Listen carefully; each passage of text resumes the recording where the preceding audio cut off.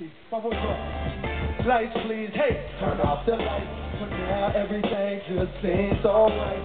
Now you make the darkness seem so bright. I'm feeling like things gon' be alright. Lights, please. Lights, please. Turn off the lights. For now, everything just seems alright. And now you make the darkness seem so bright. I'm feeling like Hey, so now we in the hotel, mirrors on the ceiling. She say she wanna blow airs, I hear her and I'm willing.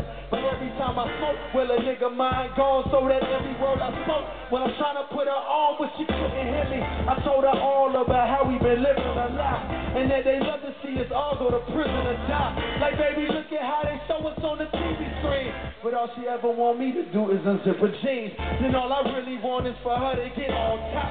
Before you know it, she working, jerking, and non-stop. And all that next shit I was previously talking. It's not that wet shit that I'm currently lost in. And while that sweat drip, I am reminded all the times my brother told me that pussy is blinded. I'm finding the more I grow, the more y'all seem to stay the same.